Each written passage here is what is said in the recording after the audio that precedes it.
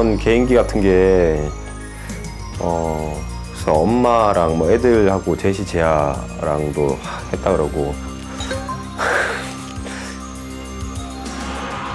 이거 대박 사장!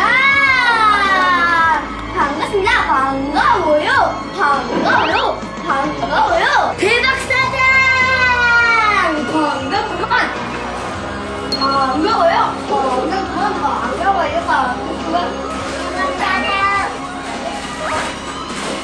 반갑구만 반가워요! 엄마의 제보에 따르면 누나들 모두에게 해주고 있었습니다. 심지어는 여기 카메라 그 감독님들하고도 했다고 하는데 왜 저한테만 안 하는 걸까요? 그래서 대박 사장에게 물어봤습니다. 나이와 이름을 말해주세요. 인사한 거야? 대박이 어디 있지? 야, 여기 있네. 아빠한테 장난친 거야? 응.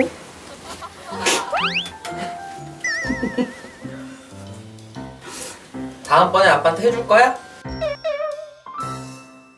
응.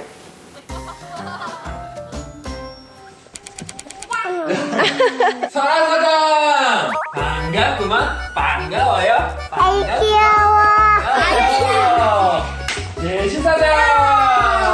아이 반가워요. 귀여워. 아이 반가워요. 대박 사장! 대박 사장! 대박 사장!